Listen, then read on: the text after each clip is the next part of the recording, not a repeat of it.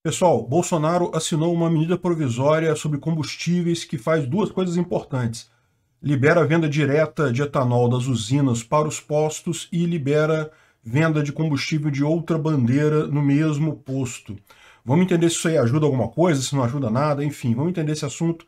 Essa notícia foi sugerida por piloto de helicóptero do Bolsonaristão, Serviço Secreto do Ancapistão, Rodrigo 1985, John 27, pessoa que cria o nome da operação da PF. Obrigado ao pessoal que sugeriu a notícia, obrigado a você que está assistindo nosso vídeo. Se você gosta do nosso conteúdo, por favor, deixe o seu like, se inscreva aqui no canal. Né? Pois bem, é, essa medida provisória já estava sendo negociada há algum tempo, foi assinada ontem e segue agora para o Congresso para validação. Ela não tem, ela não entra em validade automaticamente. Por quê? Porque ela inclui questões tributárias, né? E você lembra, eu já mencionei isso para vocês em outros vídeos, existem existe um princípio de noventena, não sei o que lá, tem um nome desse estranho assim, que justamente você não pode alterar a questão de tributo é, em menos de 90 dias para dar chance do pessoal é, é, se preparar para isso, né? E, bom, você está falando assim, poxa, mas que estranho, que, que, que tributo tem a ver com isso, né? Ah, aí que tá. Olha que coisa mais escrota isso. Bom, uma das coisas da MP é justamente a venda direta de etanol dos produtores para o, o posto de gasolina. Então, se você tem uma usina de etanol, hoje você é obrigado a vender para uma distribuidora, e a distribuidora que vai vender para o posto. Só que em muitas situações isso pode não ser justificado. Tem muita cidade mais no interior, é, região que é própria de, de produção de cana-de-açúcar, que poderia perfeitamente a usina ali na própria região vender direto para os postos por ali, não é uma coisa que afete no, no Brasil todo, eu imagino que para produtores mandarem aqui para a cidade grande seria mais complicado, mas pelo menos para uma parte da, das pessoas é, é, uma solução boa, né?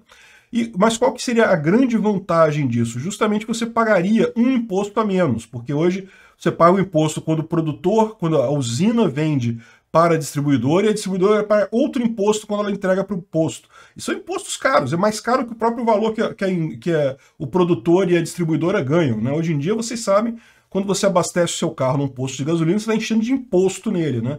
O que você paga ali é só imposto, não tem quase nada de valor do combustível em si, é só financiando esse leviatã enorme que é, fica nos atormentando por aí. Né? Então, o que, que eles fizeram?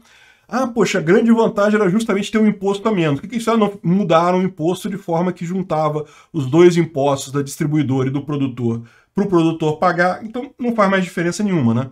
Mas daí, como muda a questão tributária, é, tem que ter a noventena, tem que ter o prazo para é, é, as pessoas se adaptarem nisso daí, né? Então, no final das contas, o que, que acontece? Nesse caso, é justamente a, a provavelmente não vai fazer tanta diferença assim. De qualquer forma, é uma medida que libera uma possibilidade que não existia antes, essa venda direta do produtor para o posto. Né? Não preciso dizer para vocês que, do ponto de vista libertário, o correto seria acabar com essa coisa toda de uma vez por toda.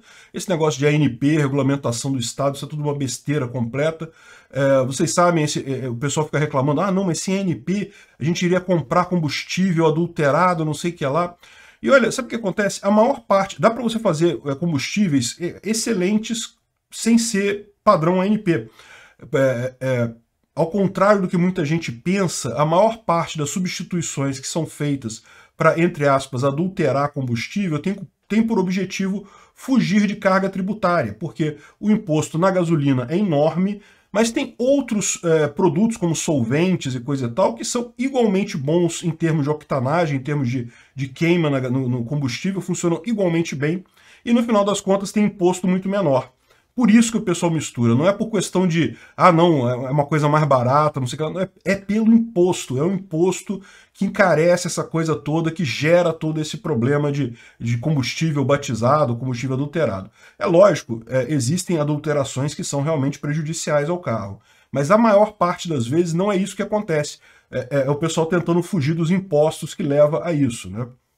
Então, na verdade, a ANP, esse negócio de fiscalização e coisa e tal, está querendo resolver um problema que é causado pelo próprio Estado. Se o Estado acabasse, você não teria essa diferença de impostos absurdas entre eh, gasolina e outros solventes e outros é, é, alcanos. Então, no final das contas, você poderia fazer um combustível é, muito mais barato para todo mundo e não, não haveria incentivo para fazer adulteração, porque a diferença de preço não seria tão grande assim. Então, no final das contas, é isso daí.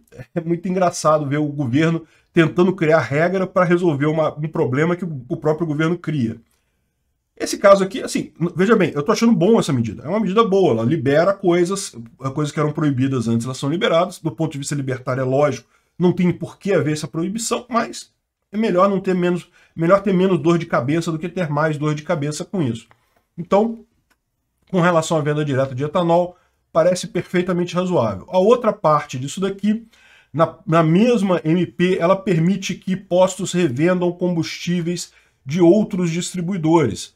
Então, se você tem um posto com a bandeira BR, por exemplo, esse posto pode optar por vender ou na totalidade ou uma bomba específica é, combustível de uma outra distribuidora que não seja BR. Né?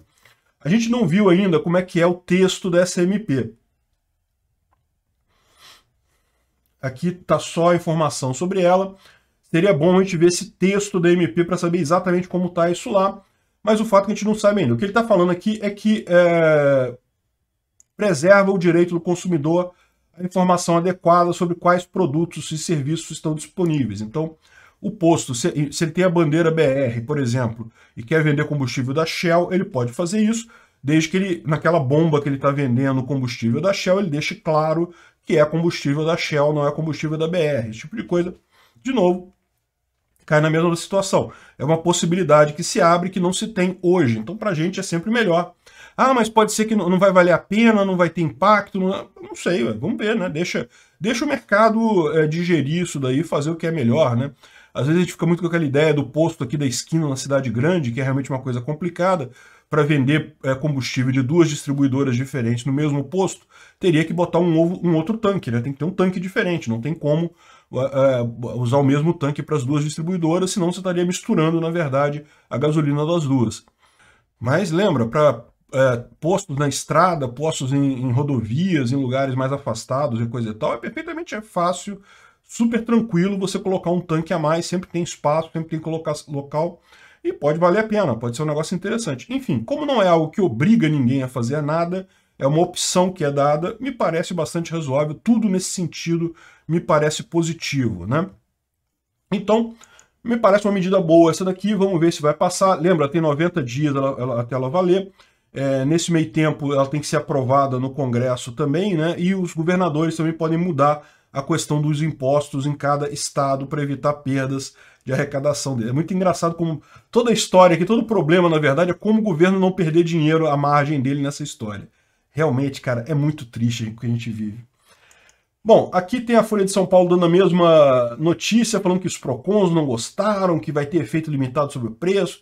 Se a Folha está dizendo que o MP é ruim, então, olha só, excelente, deve ser excelente essa medida provisória. Gostei muito. Eu tinha achado ela mais ou menos quando eu li aqui, mas com a Folha criticando, meu amigo, então eu já sei que é bom. Muito bacana a MP, realmente boa, né? Agora, é lógico que isso também é uma resposta do governo a um outro problema que está acontecendo também, que é o aumento do preço do combustível. Né? A gasolina esse ano já subiu 51% e vai subir mais um pouquinho aí, segundo a Petrobras. O motivo para isso é o aumento do preço do petróleo no mundo todo. É, com a, a, retomada da economia e coisa e tal, a demanda por petróleo começou a crescer novamente e os preços do barril do petróleo têm subido no mercado internacional. Não tem muito como evitar isso, quem comprou a ação da Petrobras naquela época que deu, que deu a baixa se deu bem, porque é, com o aumento do preço do petróleo, naturalmente as ações da Petrobras estão em alta. Eu não sei como é que elas estão neste momento exato. Lembra quando o Bolsonaro é, meio que interferiu na Petrobras, tirando o presidente da Petrobras e colocando outro, coisa e tal? E muita gente falou, caramba, isso é interferência da Petrobras, coisa e tal, e realmente é uma coisa ruim, ninguém queria isso, e realmente caiu o preço da ação bastante naquela ocasião. Por quê? Porque todo mundo tinha medo justamente que com essa troca Bolsonaro adotasse uma forma populista de controle sobre a Petrobras. O que fez a Dilma de segurar o preço é, da gasolina de forma que para ganhos eleitorais e com isso acabasse destruindo a, a, economia da empresa, o que é uma coisa ruim. Né? É, é, é, esse é um dos motivos pelos quais a Petrobras deveria ser privatizada o quanto antes. Mas vocês lembram na época, eu falei que o cara que estava entrando era um cara bastante sério, é, tanto que eu comprei ações aqui na época, e de fato o valor recuperou. Eu já vendi minhas ações, vendi elas por aqui mais ou menos. e está num valor bastante alto realmente. Então, e a tendência agora com o aumento do preço do petróleo é justamente é, é, subir ainda mais esse preço de ação. Quem comprou a ação da Petrobras aqui na baixa se deu bem nesse negócio, nesse caso. Né? Mas enfim, então isso aqui é uma coisa boa. Ao contrário do que muita gente pensa, isso daqui é uma coisa positiva porque mostra justamente que Bolsonaro não está interferindo com mão de ferro na economia. É uma coisa ruim para nós que pagamos o combustível, evidentemente, mas como eu falei, isso daí é uma decorrência de preços externos. Muito pior seria se ele é, atuasse para segurar esse preço, para é, manchar o mercado, para segurar o mercado. Isso é que é, acaba, no médio prazo, piorando a situação toda. Né? Vocês lembram da época da Dilma, ela segurou o preço na eleição, no dia seguinte da eleição explodiu tudo. Enfim, é isso daí. A MP é boa. Se a Folha de São Paulo diz que é ruim, meu amigo, é porque é bom.